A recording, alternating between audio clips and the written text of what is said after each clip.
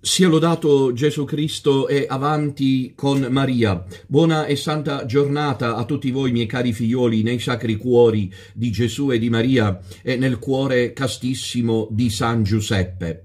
Oggi inizia una nuova settimana, la settimana, eh, la seconda settimana del mese di ottobre. Oggi è lunedì 11 ed è giorno di festa. La Chiesa celebra nel rito tradizionale la solennità della Madre di Dio, la Theotokos, il termine greco, termine termine dommatico eh, che vuol dire genitrice di Dio. Nel calendario liturgico moderno è stato spostato al primo gennaio questo momento di festa. Invece nel calendario liturgico tradizionale, per volere del pontefice Pio XI, nel quindicesimo anniversario centenario eh, della proclamazione del dogma, Pio XI ha stabilito che la festa venisse celebrata come oggi, 11 ottobre, eh, e venisse celebrata nella solennità di secondo grado. Ecco, quindi oggi è giorno di festa, è festa mariana, è il più antico dogma mariano, miei cari figlioli. Anzitutto vorrei ringraziarvi per i numeri sempre gratificanti che caratterizzano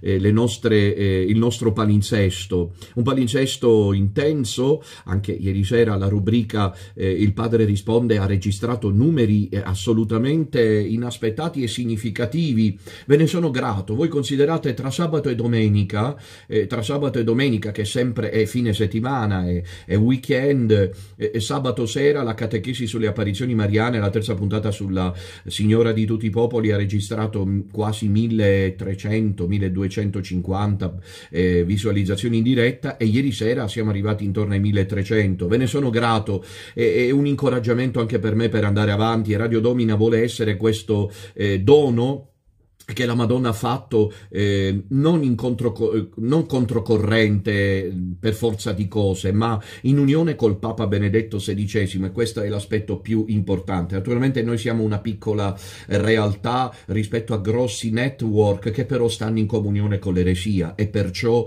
eh, eh, sono alberi senza frutto, sono alberi casomai con frutti marci, con frutti purtroppo sterili, lo diciamo con dolore. E quindi Oggi tra l'altro è lunedì, vi ricordo questa sera, in questa bella festa della Madre di Dio, della quale ora parleremo, eh, vi ricordo l'appuntamento questa sera, come ogni lunedì, con la rubrica, eh, no con la rubrica, scusate, con la preghiera del volto santo di Gesù di Manoppello come ogni lunedì. Anche questa preghiera del lunedì registra, diciamo, significativi numeri e quindi vi incoraggio a essere sempre presenti. Eh, annotatevelo, prendete un, un, un, block notice o la vostra stessa agenda e, e, e scrivete tutti gli appuntamenti di Radio Domina dal lunedì mattina intorno alle 7 e fino alla domenica sera, eh, eh, tutta la notte praticamente, che Radio Domina poi, come sappiamo, trasmette ogni notte eh, la adorazione eucaristica, eh, eh, che è un momento di grazia, un momento molto importante. E quindi andiamo avanti con questo palinsesto. Andiamo avanti, stiamo commentando il libro dell'Apocalisse, il martedì e il giovedì sera, col mio libro eh, La Sinfonia dell'Agnello, che potete richiedere qualora ancora non l'aveste avuto qui alla segreteria di Radio Domina Nostra. E poi con tutti gli appuntamenti, ieri sera dicevo alla introduzione della eh, rubrica Il Padre risponde che eh, eh, ho, ho, verificato che con mia enorme gioia, senza averlo voluto eh, prevedere, sono più gli impegni di preghiera in Radio Domina che non gli impegni di catechesi. A dire il vero oggi c'è bisogno di entrambe le frontiere, eccolo qui il libro, la Sinfonia dell'Agnello, come vi dicevo, potete chiederlo qui a Radio Domina. E vi dicevo che a dire il vero c'è bisogno di entrambe le eh, diciamo, eh, eh, direttrici, lo vediamo molto bene, c'è bisogno di tanta preghiera, veramente il rosario innerva, potremmo dire come tessuto connettivo e vitale eh, Radio Domina Nostra e l'opera di Dominutella e Don Bernasconi. E, e, però poi anche la catechesi è importante, la formazione nella fede.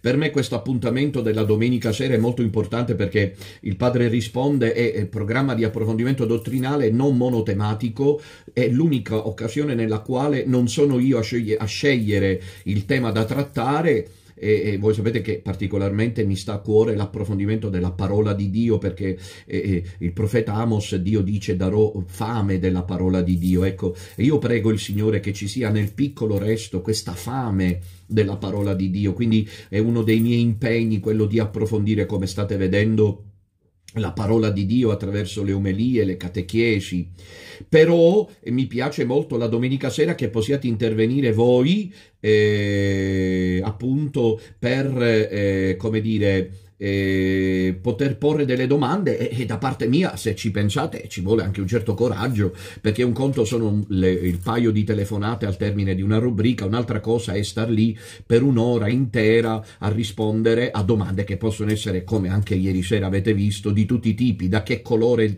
della pelle aveva Gesù quando è nato all'esistenza del limbo, avete visto anche ieri sera, no? all'esistenza del limbo, si passa eh, a direi assai significativamente da tutte le eh, diciamo possibili interpretazioni. Come naturalmente qualcuno eh, scrive eh, dov'è eh, Miriam Verde dice la messa soprattutto proprio così è la messa che soprattutto fa la differenza su Radio Domina perché è l'unica messa pubblica nel senso che viene mandata sui social in diretta eh, con, in unione con Papa Benedetto XVI e questo fa la differenza. Bene allora oggi è festa è la festa della Madre di Dio. Voi sapete che in greco vi dice dicevo, si dice Theotokos, Theos in greco vuol dire Dio, tokos è, è generare, eh, viene dal verbo generare e significa con, quindi con, diciamo letteralmente colei che genera Dio.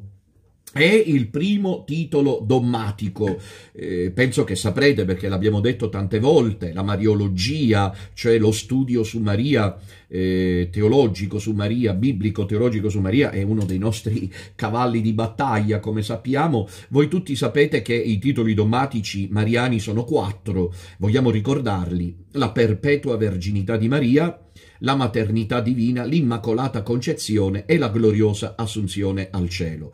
Non occorre qui eh, che io ribadisca sempre che dobbiamo pregare perché si attui quanto la Madonna ha domandato in quel ciclo di apparizioni così ostacolate oggi dalla falsa chiesa bergoiana che è, è, quel, che è la, la, l'apparizione di Amsterdam dal 1945 al 1959 la signora di tutti i popoli. E lì la Madonna in apparizioni riconosciute come vere dal vescovo eh, ordinario del luogo di Harlem Amsterdam Monsieur Punt la Madonna lì ha chiesto la proclamazione dell'ultimo e quinto dogma mariano che è la corredentrice un titolo titolo che Bergoglio apertamente e spudoratamente ha voluto asfaltare, ritenendo che così per lui e, e per, ovviamente per il gota massonico satanista la questione è archiviata e niente affatto archiviata, anzi più la ostacolano e più vedrete che la Madonna trionferà. Tra l'altro nelle apparizioni mariane di Amsterdam, la signora di tutti i popoli, la cui immagine a mio avviso è sorprendente ed è bellissima e teologicamente densa, la signora di, eh, voi sapete che questa immagine qui della signora di tutti i popoli dovreste averla tutti a casa perché la Madonna ha chiesto di tenerla, è un'immagine fuga a demoni anche questa, è un'immagine fuga a demoni. E c'è la Madonna con le braccia aperte dietro alla croce, ecco avremo modo di approfondire anche l'immagine, ma stavo dicendo che eh, voi sapete che la Madonna ad Amsterdam ha detto che la proclamazione del quinto dogma avrebbe eh, procurato un tempo di pace alla Chiesa. Ora noi vediamo come va la Chiesa oggi. Ieri sera sono dovuto anche un paio di volte intervenire sulla questione di Monsignor Carlo Maria Viganò. Ho spiegato per la prima volta in modo chiaro come la penso. È un momento di crisi nella Chiesa. Questi sono nemici che vogliono distruggere per ragioni di tipo politico, di tipo eh, eh, non certamente eh, eh, eh cattolico, l'identità della Chiesa. Ne vogliono un'altra che non sia quella che attualmente c'è, che è fondata da Gesù Cristo in una linea ininterrotta che va dall'Apostolo Pietro a Papa Benedetto XVI. La Madonna ha promesso che la proclamazione del quinto dogma mariano costituirà un tempo di pace e di trionfo per la Chiesa. Non sarà forse collegato al tema del trionfo del cuore immacolato di Maria, di Maria promesso a Fatima? Io penso di sì, miei cari figlioli. Il tema dell'apparizione di Amsterdam come quello di Avola eh, alla Madonna del Pino a Pino Auriche è tutto da approfondire, perché per esempio quella di Amsterdam dove la Madonna chiede la proclamazione già Pio XII del quinto dogma Mariano eh, eh, inizia ufficialmente il 25 marzo 45, però la prima vera apparizione della Madonna a Ida Perdeman avviene il 13 ottobre 1917 quando lei non sapeva che a Fatima stava accadendo l'ultima apparizione. E, e volevo dire per inciso che da oggi per tre giorni seguono tre giorni mariani, perché oggi è la Madonna Madre di Dio, il titolo domatico, domani è la Madonna del Pilar, eh, la Reina della Hispanidad, no? eh, cioè eh, il più antico santuario mariano, quello di Saragozza, domani ne parleremo, e dopodomani, 13 ottobre, mercoledì, è la festa della Miracolo del Sole a Fatima.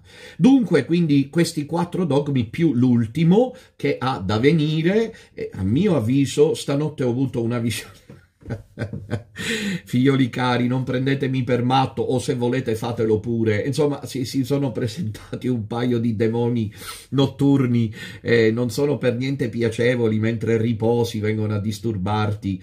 Eh, ma dopo ho avuto una visione, vedevo il grande prelato però di spalle, è una cosa bellissima. Si vede che per avere questo dono della visione che ho avuta, ve la volevo raccontare perché oggi è la maternità divina, dovevo prima avere questa lotta, questa battaglia spirituale contro le potenze dell'aria, perché c'è chi pensa che siano suggestioni, in realtà San Paolo nella Bibbia, e non solo lui, ne parla chiaramente, che esistono gli spiriti dell'aria, quelli che di notte disturbano e tormentano, anche quando sei in grazia di Dio e sei circondato di fede, però devi comunque sostenere questa battaglia e, e, poi i monaci del deserto, fino ai nostri giorni Padre Pio, Santa Gemma Galgani, loro addirittura fisicamente. Però dopo questa battaglia che ho avuto stanotte, ehm, ho avuto una visione che mi ha colpito moltissimo, ma eh, ho visto di spalle il grande prelato alla piazza del Cremlino a Mosca e mi ha colpito moltissimo. Era circondato da un paio di persone, soprattutto donne, eh, non tantissime persone, ma un buon numero che non desse nell'occhio e si trovava lì in qualità di pontefice clandestino, perché il grande prelato, eh, eh, diciamo, in qualche modo non sarà, riconosci- no, qualche modo, non sarà riconosciuto eh, dalla falsa chiesa, né dalla falsa chiesa bergogliana e tantomeno da quella che sta per prendere sempre più campo dall'altra falsa chiesa, per altri versi viganiana. Però in mezzo ci sarà colui che perpetuerà la eh, successione petrina, perché la successione petrina non è né in Bergoglio, che è stato eletto invalidamente, Conte e quindi antipapa, usurpatore del trono petrino, né tantomeno da Viganò che aspetterà che muoia Benedetto XVI per poi stabilire lui i criteri. Il vero successore sarà quello di Benedetto XVI, eletto dai romani che non si sono piegati all'idolatria imperante e che dopo giorni di digiuno e di preghiera, speriamo il più tardi possibile, eh, eh, speriamo il più tardi possibile, eh, eleggeranno come avveniva nel primo millennio cristiano. Del resto i cardinali non possono più farlo perché sono quasi tutti, se non tutti, collusi con l'idolatria di Pachamama, anche quelli più santi come, vi dico questo, fioli cari, anche quelli più santi come Comasti, Comastri non, sono, eh, non possono eleggere un papa. Uno come Comastri, quando anche avesse l'età canonica, ce l'ha mi pare, perché è 75enne, 76enne, quindi per ancora 4 anni fino agli 80 può entrare in conclave, eh, eh, non possono eleggere il papa perché lui è complice dell'idolatria perpetrata nei giardini vaticani, altrimenti avrebbe dovuto alzare la voce, avrebbe dovuto apertamente dissociarsi e avrebbe dovuto dire anche quando riconoscesse Bergoglio come papa io mi dissocio. Invece invece è stato zitto. E, e, e questo silenzio non è obbedienza.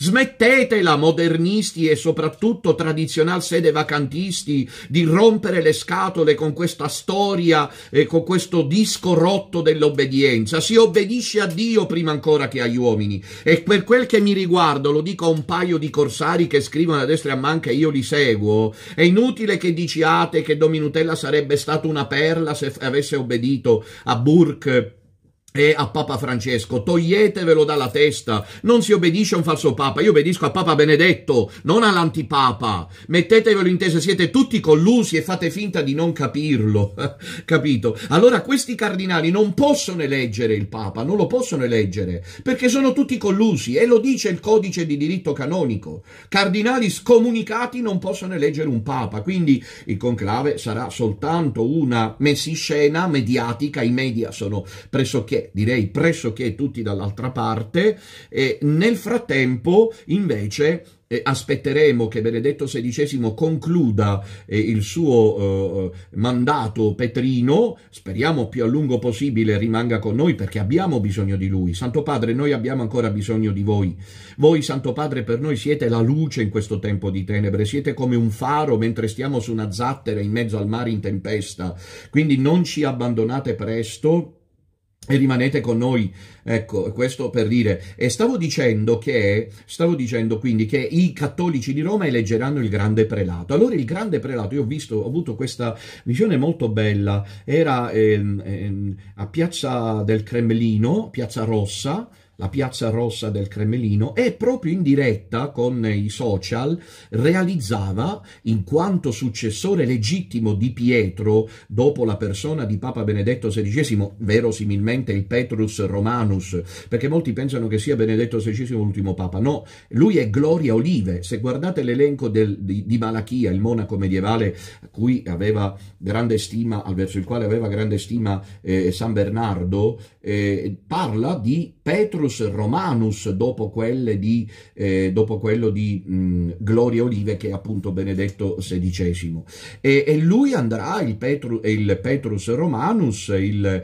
il, vicario di Cristo in terra per quanto clandestino però sempre con la croce pettorale l'anello poi solo Dio saprà come tutto questo si potrà realizzare. Come scrive Marisa Mattei preghiamo Dio appunto è quel che dobbiamo fare. E io ho visto che andava alla piazza rossa con una semplicità estrema. Del resto l'agire di Dio è quello.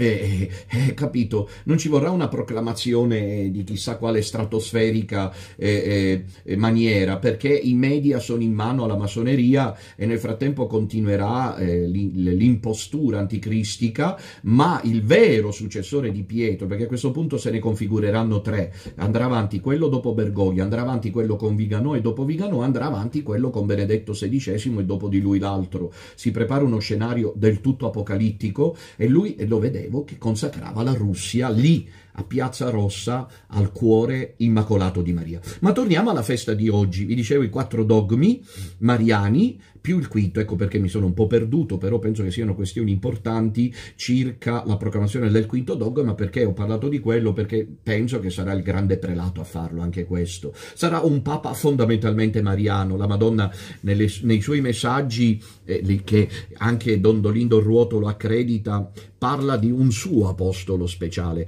Credo che nelle prossime catechesi sull'Apocalisse, se non ricordo male, proprio nel settenario delle chiese, ma dovrei cercare, nelle prossime pagine del libro libro che dovremo affrontare eh, si parli proprio subito del grande prelato, quindi è un tema che riproporremo. Ma intanto i dogmi sono quattro, ve li ho detti, il più antico è quello di oggi, maternità divina, è stato proclamato a Efeso, città eh, splendida, cosmopolita al tempo eh, in cui è stato proclamato il dogma, nel 431. Maria è madre di Dio, che significa? Teotokos, che significa madre di Dio? Ecco, madre di Dio significa che lei, la Madonna, ha, parto- ha concepito virginalmente, e ha partorito, eh, e ha partorito il figlio di Dio. Allora è nata una questione. Voi sapete che già nel III secolo c'era stato Ario che aveva negato eh, la eh, divinità di Cristo. E il concilio di Nicea del 325 aveva detto no, Gesù Cristo è Dio, Gesù Cristo è Dio come il Padre, e quindi omusio sto patri, cioè della stessa sostanza del Padre. Ora si presenta nel IV secolo eh, una questione nuova, proposta da quello che oggi sarebbe un accanito modernista, e cioè eh, un accanito modernista, e cioè eh, si chiamava Nestorio, era patriarca di Costantinopoli. Nestorio diceva Maria non è madre di Dio, non possiamo chiamarla con questo titolo, è un titolo mitologico, è proprio un modernista antelittera, una sorta di Casper ravasiano. o di Ravasi Casperiano, una sorta di runner anteventum, incredibile. Allora, ci saranno sempre dentro la Chiesa questi che in nome dell'acceso cristocentrismo, di un primato di Cristo minacciato da Maria, vorranno sottrarre alla Madonna i titoli che meritano, i titoli che merita. Allora, stavo dicendo, questo Nestorio, questo runner Nestorio, patriarca di Costantino, era preoccupato perché diceva no, questo titolo Madre di Dio non lo dovete adoperare, era un titolo che circolava, non era riconosciuto automaticamente, ma questo è sempre avvenuto, è sempre prima di tutto il popolo di Dio, eh, il sensus fidelium che poi viene accreditato a livello gerarchico, eh, eh, è un tema teologico importante, il sensus fidelium, cioè il popolo di Dio Oggi non è più così nella stragrande maggioranza perché il popolo di Dio vive nell'errore e nell'eresia, quindi non c'è più il sensus fidelium. Ma il sensus fidelium è importante perché il popolo avverte prima, fiuta prima. Una volta si diceva vox populi, vox dei. Ecco, allora eh, eh, eh circolava tra i fedeli dell'impero romano che era entrato in un periodo di pace, di prosperità grazie a, a Costantino, eh, eh, il titolo eh, devozionale, potremmo dire, di madre di Dio, Teotokos. Nestorio si arrabbia, come fa avrebbero fatto oggi i modernisti, si arrabbia perché dice no, come hanno fatto i modernisti nel post-concilio, ma no, è un titolo esagerato, non va bene questo titolo perché è un titolo eccessivo, toglie il primato a Cristo, è un titolo mitologico, non è biblico, non c'è scritto. Sono proprio i criteri, se notate, interessante questo, ermeneutici, poi dopo secoli ripresentati, sì, non so se sto parlando difficile, spero di no, eh, eh, perché nel frattempo qui la gente chiacchiera tra sé e sé con il discorso di altro, vabbè, comunque sia, Radio Domini anche questo, io parlo perché mi sta ascoltando.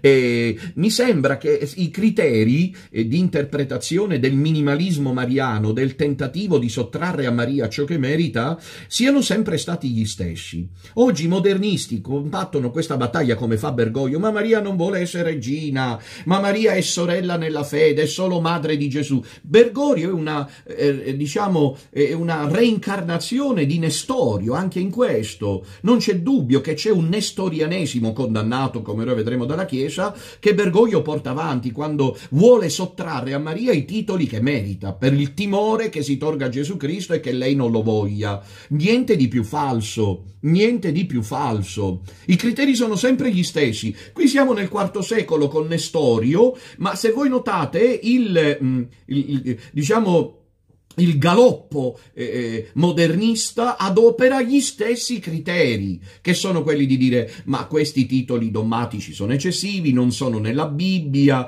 Maria non li vorrebbe, e Lutero anche questo, no? Quindi è incredibile vedere come Bergoglio incarni dentro la Chiesa quella falsa, questo minimalismo mariano. Allora Nestorio si impone, si arrabbia anche perché la cosa molto strana di talune figure di chiesa è che si arrabbiano quando pensano che si esageri con la Madonna. In definitiva, un pastore santo al limite, diciamo che pastoralmente, con amorevolezza, con pazienza, eh, eh, con eh, eh saggezza, eh, eh, cerca di mettere ordine al limite. Invece questi qui, come fanno i modernisti oggi, come fa Bergoglio, si arrabbiano, si arrabbiano. Ce l'hanno con questo culto mariano che è quello che, come dice Vittorio Mesori, costituisce inevitabilmente l'identità cattolica. Ed allora Nestorio eh, ingaggia una battaglia incredibile, volendo coinvolgere persino l'imperatore Teodosio II, credo che fosse, ma devo controllare, credo di sì, eh, vabbè, verificherò, eh, credo sia Teodosio II, e lo vuole ingaggiare in questa battaglia dicendo dobbiamo far presto, Maria non è madre di Dio, non può essere madre di Dio perché Dio non ha una madre. Ma come era successo con Ario, che negava la divinità di Cristo, è sorto il leone di Alessandria. Chi è il leone di Alessandria? Atanasio, Sant'Atanasio.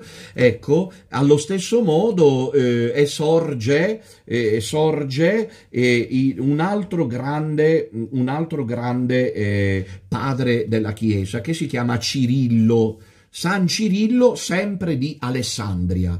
Nestorio era di, eh, eh, di Costantinopoli e invece Cirillo era di Alessandria. che cosa succede? Eh, Cirillo dice no, il titolo di Madre di Dio va bene. Fanno bene i fedeli a chiamarla Madre di Dio. E Nestorio dice, ma lei non ha concepito e generato Dio.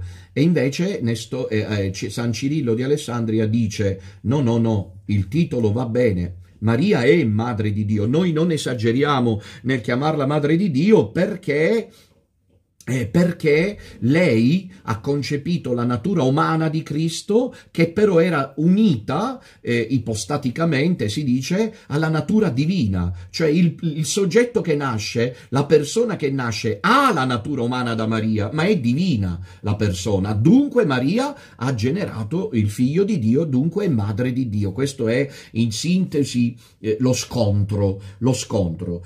Nestorio vuole il titolo di Cristotokos, cioè genitrice genitrice di Cristo.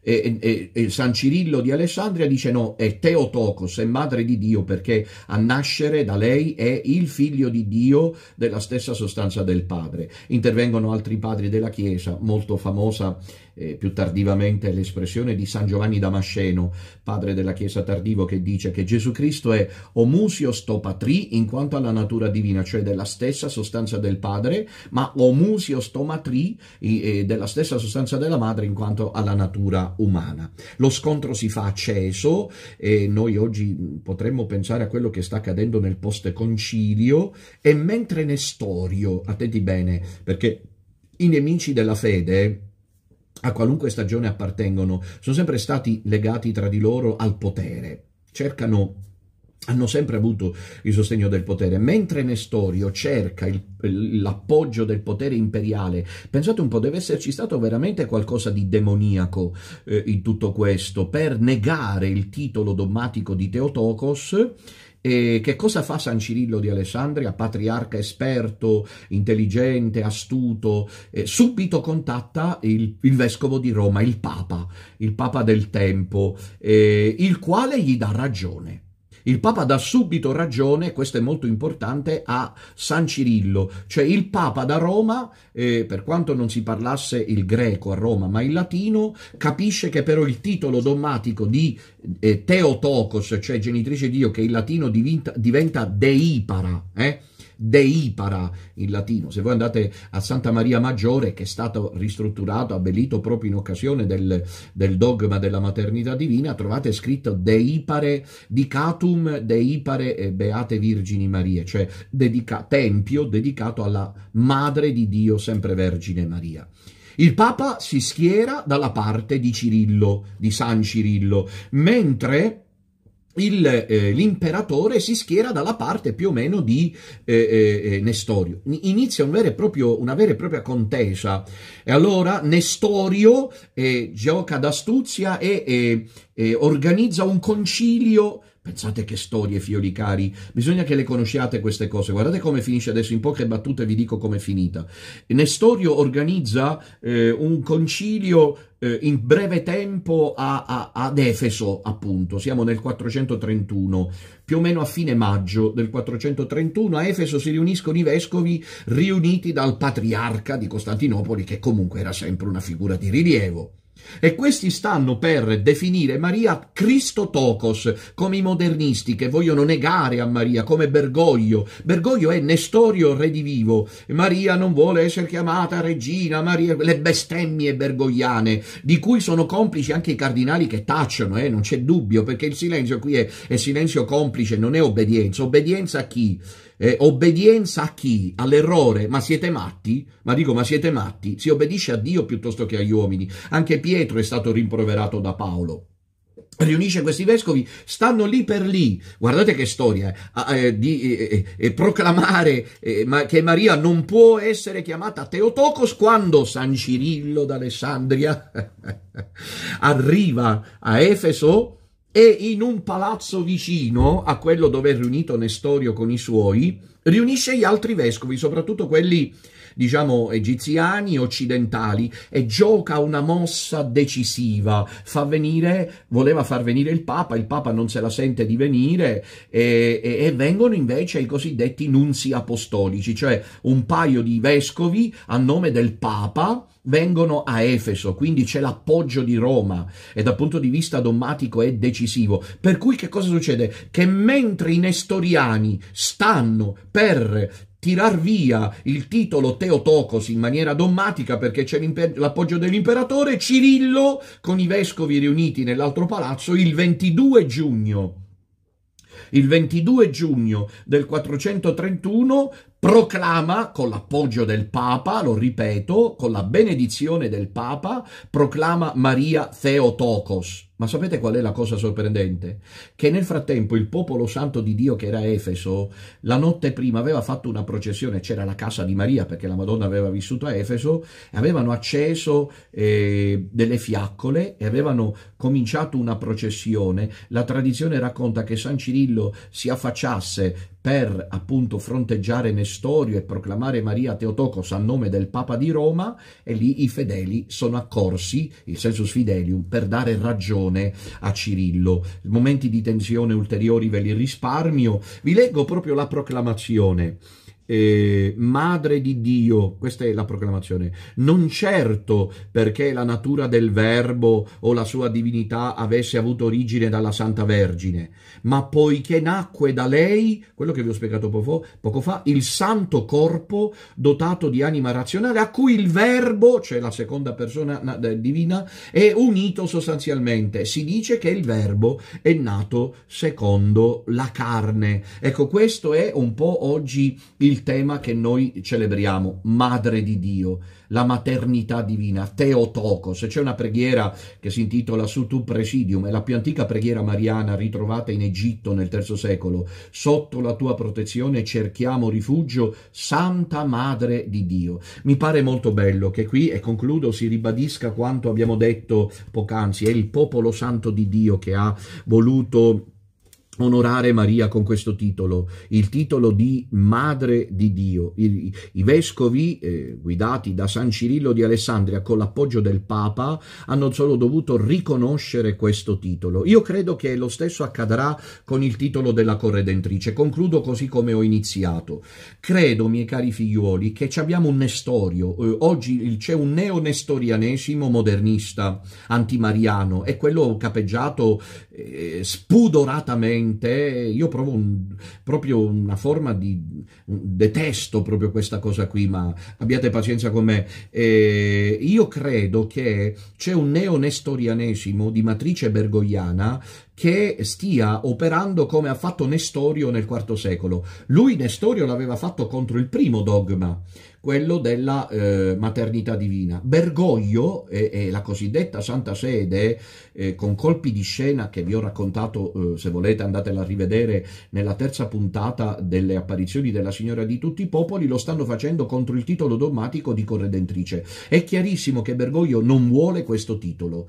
Ehm, è un neonestorianesimo antimariano, oggi molto diffuso, di matrice modernista, che aveva già i suoi rappresentanti al Concilio Vaticano II e che non riuscirono a trionfare. Loro cantarono vittoria quando non fu fatto un documento specifico su Maria il tema mariano fu associato a quello sulla Chiesa. In realtà è stata una grande vittoria. Se voi vedete al Concilio Vaticano II Lumen Gentium si parla proprio di Maria come mediatrice, c'è il partito detto tradizionalista in definitiva sulle cose più importanti come questo sul, do, sul dogma ha, ha vinto, ha già annunciato che il dogma sarà proclamato e, e quindi è, è, il popolo che in quel caso Cirillo si è fatto forte dell'appoggio del Papa e del popolo. Il popolo è andato lì con le, le, le, le, torce, con le lucerne, per dire noi siamo qui, Cirillo, a dire che voi che volete proclamare questo titolo, che lo state proclamando, fate bene. È giusto che sia così il sensus fidelium. Ora,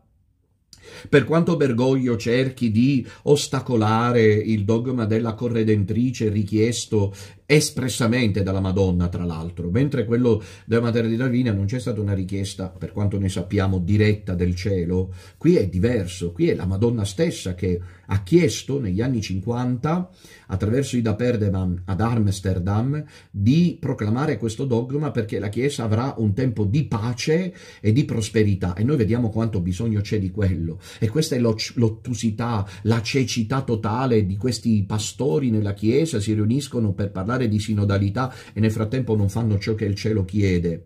Ma intanto nel mondo intero, io ho visto questo con i miei occhi in America Latina, ci sono petizioni che arrivano a Roma per chiedere la proclamazione del dogma. C'è un movimento ormai da anni eh, ormai da anni che porta avanti questa richiesta della proclamazione del quinto dogma mariano, Maria corredentrice. Come finirà? Beh, io vi ho detto che stanotte ho avuto la visione dopo una battaglia, grazie a Dio, durata pochi, pochi istanti contro le, gli spiriti dell'aria, ho visto proprio il grande prelato di spalle, neanche tanto anziano, non era neanche tanto anziano, in buona forma, anche se col peso della responsabilità suo malgrado, l'ho visto di spalle vestito di nero, aveva un cappotto nero, eh, in talare, che circondato da un gruppo di persone si trovava alla Piazza Rossa a, a, a consacrare la Russia, come la Madonna aveva chiesto, al cuore immacolato di Maria.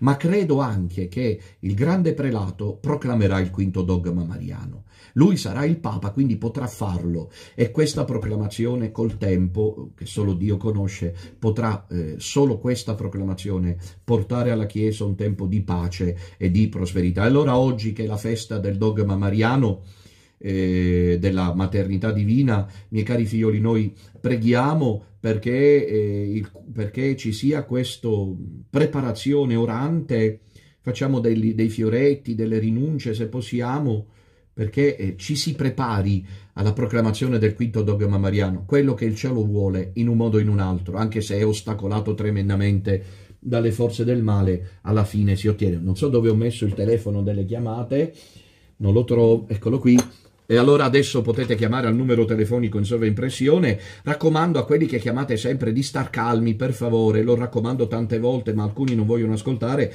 Lasciate spazio a chi no, poi non riesce mai a chiamare. Ecco, c'è già la prima eh, telefonata. Pronto? Pronto? Sia lodato Gesù Cristo. Sia lodato Gesù Cristo, eh, Gesù Cristo Padre. Eh, la ringrazio per tutto quello che sta facendo. Grazie, grazie tanto. Io chi sei? Che, io sono Andrea di Bergamo. Ecco Andrea. Volevo chiedere un'informazione. No, eh, allora, sulla porta del diavolo, io sto, diciamo, mi sto un po' informando no, su questa porta del diavolo, che è stata fatta da, dallo scultore Rubens. E niente, eh, non riesco a capire, eh, diciamo, questa porta qua, il disegno è stato, eh, diciamo, distrutto no, da, diciamo, dallo scultore.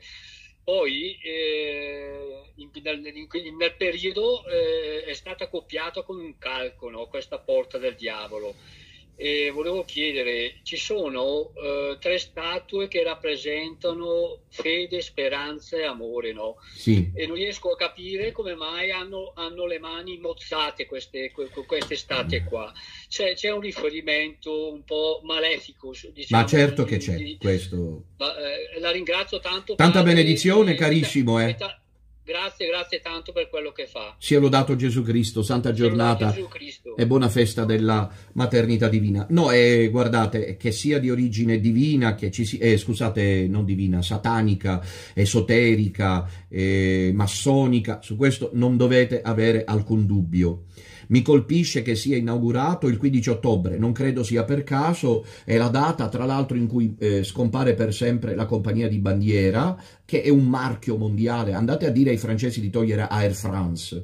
I francesi saranno disposti a perdere la Coppa del Mondo l'anno prossimo perché la vince l'Italia, almeno speriamo, e negli Emirati Arabi, no, in, eh, mi ricordo il paese, il Qatar, il Qatar, e saranno disposti non so a cos'altro, ma state certi che i francesi non rinunceranno mai a Air France, come gli inglesi a British Airways o gli spagnoli a Liberia, perché è, è, perché è una compagnia, invece l'Italia, l'Italia deve far la fine della Grecia, che non ha una compagnia di bandiera ufficiale e l'Italia non deve averla, perché se l'Italia ha una compagnia di bandiere è ancora una nazione che conta, invece l'Italia deve affossare perché è stata consacrata, fioli cari se non l'avete capito, io ve l'ho detto, poi se non volete credermi, l'Italia è stata consacrata a Satana, ne vedremo delle belle, ne vedremo delle belle in tempi non sospetti, ma io non vengo considerato, lo dicevate ieri sera, qualcuno telefonava con un certo ormarico, ma perché lei queste cose le dice e nessuno le considera, le dicono gli altri e sono tutti considerati. E che cosa volete? È la,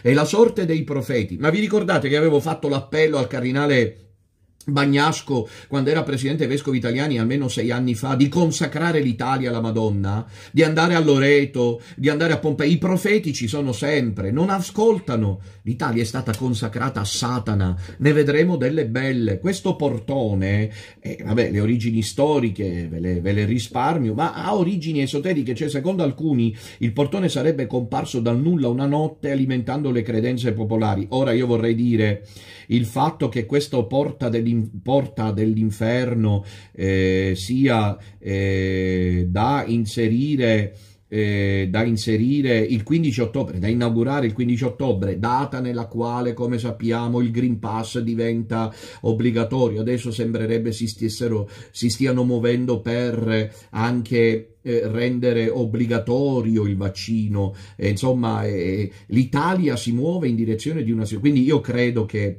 è una, direi, intronizzazione al Quirinale che oggi è il palazzo del Presidente della Repubblica, della Presidenza della Repubblica, ma vi ricordo che questo palazzo per secoli, eh, mi pare fino a Pio IX, è stato il palazzo dei papi, la residenza dei papi. Ecco, allora dobbiamo pregare tanto la Madonna. Noi del piccolo resto abbiamo il, il microchip mariano, abbiamo eh, lo Sky Pass che è, come vedete, eh, il, la catena e teniamo sempre con noi, carnalmente direi, la corona dello rosario. L'altra telefonata, pronto? Eh, buongiorno, sono Giussi da Palermo. Ecco, sia lodato Gesù Cristo, Giussi. Sia lodato Gesù Cristo, Padre. Innanzitutto un abbraccio, un abbraccio grandissimo e un grazie per tutto. Grazie. Scusami un momento, Giussi, che ho dimenticato di dire una cosa importante a tutti. Tra l'altro, l'Italia è Roma. Allora, vorrei dire brevissimamente, perché c'è Giussi in linea. L'Italia è Roma, cioè è la capitale. Roma poi è la sede di Pietro, Milano, con tutto il rispetto, Firenze, Venezia, Bari, Napoli, Palermo, Catania, Cagliari, eh, Torino, eh, Genova, va bene. Però Bologna, però, però, però, Roma è Roma. E a Roma c'è Pachamama, hai capito? C'è stato Moloch al Colosseo e ora c'è la porta dell'inferno. Ma più chiaro di così, figlioli cari, non lo so io. E il cardinal Comastri piange sulla mamma. Pronto, Giusy? Allora, eh, ieri sera, per caso, ho visto un video di un frate su YouTube, non dico il nome, però sì. lì facilmente posso dirlo in privato dove parlava di Gesù che eh, ai fine dei tempi agli eletti avrebbe dato un, come dire, eh, come un rifugio dove andare. E questo frate diceva che a lui era stato detto di andarsene in Sud America. Sì. Cioè, cosa, cioè, sono un po' curiosa. Certo, certo, lo posso capire. Intervengo per quanto posso, va bene Giusy? Buona festa. Un abbraccio, le voglio bene. Grazie. Grazie, buona festa della maternità di Maria, eh, divina di Maria. Dunque, eh, sì, ho saputo di questa cosa, vi prometto che andrò a guardarla con i miei collaboratori in giornata stessa, ma i ritmi sono impressionanti, e di questo frate che dice che dobbiamo, che Dio ci offre un rifugio. Allora io non posso, però non voglio e non posso in questo momento essere più eh, esplicito di quanto dico. L'America Latina, un motivo ci sarà, ecco, l'America Latina, un motivo ci sarà per cui io sono stato in Argentina, in Brasile, in Uruguay, e sono stato a lungo in Colombia. Mi dispiace, ancora oggi ne porto le tracce delle critiche da persone a me vicine che mi stimano e poi al primo passo che faccio che non corrisponde ai loro criteri dubitano. E questo mi dispiace molto. Si preparino perché la missione è mondiale, mica ci dobbiamo salvare solo noi italiani. Eh, attenzione, e mica ci siamo solo voi del piccolo resto in Italia. Don Minutella deve pensare anche agli altri E questo ne... anzi dovreste incoraggiarmi come? Eh beh, bisognerebbe capirlo come, aiutatemi, aiutatevi ad andare a raggiungere il piccolo resto mondiale, perché c'è, anche se i social non ne parlano. Avete visto in Colombia? Sembrava una terra diciamo così, eh, anonima. Avete visto a Medellin? Avete visto a Bogotà? Avete visto a Bucaramanga? Avete visto a Pereira? La gente viene perché c'è la gente che è in unione con Papa Benedetto XVI e l'America Latina certamente ha una vocazione, ecco, non fatemi dire di più, miei cari figlioli, intelligentibus pauca, perché poi ci sono quelli tra di noi che siccome sono radicati in Italia e non tutti si può muovere, ci si può muovere, eccetera, quando sentono parlare di rifugi a destra e a manca, mi saltano addosso se io accredito questa linea.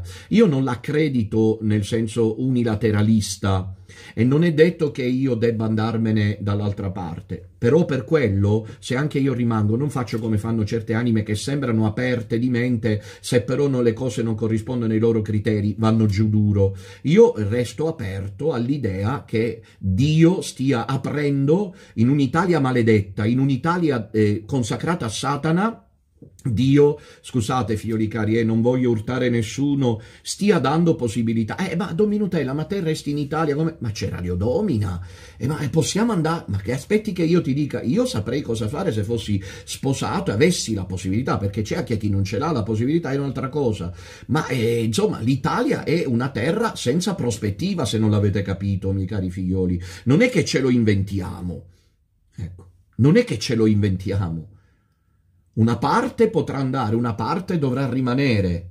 Ma certo ve lo dico sulla mia pelle, io vi devo dire la verità, miei cari figlioli, non l'abbiate a male, perché io sono patriota quanto voi, eh, soprattutto della Sicilia, però devo essere sincero, prima della Sicilia e poi dell'Italia perché la Sicilia ha una storia meravigliosa, dopo l'unità d'Italia la Sicilia è stata eh, eh, eh, arretrata, la Sicilia di Federico II, non so se mi spiego, la Sicilia di Federico II, la Sicilia che con Napoli era il regno delle due Sicilie, è stata abbandonata per fare capitale per volontà dei francesi Torino e poi Firenze e finalmente Roma. Ad ogni modo, da Napoli in giù l'Italia era da, eh, per volontà della massoneria inglese da elimina. Comunque sia, sono altri discorsi. Allora io dico da patriota, amo la mia terra e credo che io rimarrò qui, però dico anche che io benedico quelli che hanno pensato di andarsene a costruirsi una vita altrove. Dov'è? Dov'è? La, cos'è questa? Perché devono sorgere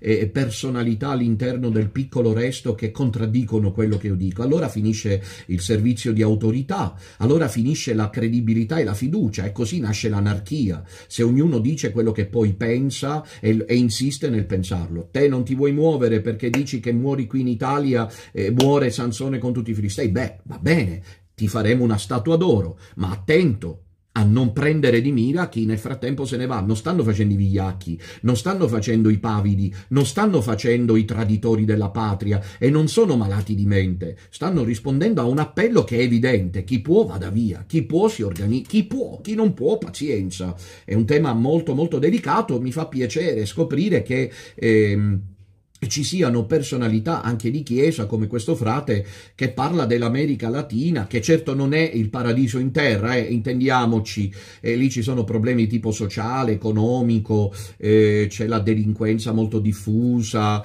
eh, insomma malattie endemiche, non è che te ne vai dove eh, c'è il paradiso, eh, questo è chiaro, però l'Italia a, me, a mio avviso a livello globale è la peggiore eh, situazione a livello mondiale. Questo è quello che io penso.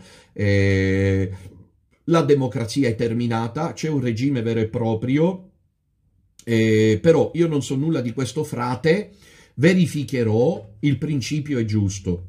Il principio è giusto.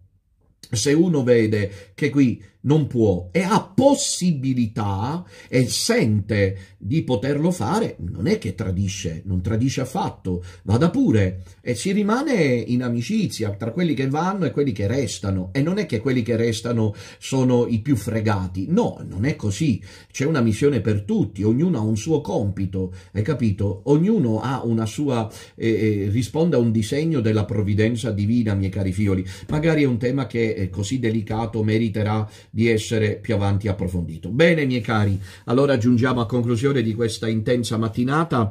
Eh, vi do appuntamento poi per la messa oggi pomeriggio eh, il rosario questa sera alle 21.15 non dimenticate il rosario del volto santo di Gesù e su tutti voi in questa festa della maternità divina invoco la santa benedizione del Signore in nomine Patris et Filii et Spiritus Santi Amen sia lodato Gesù Cristo e avanti con Maria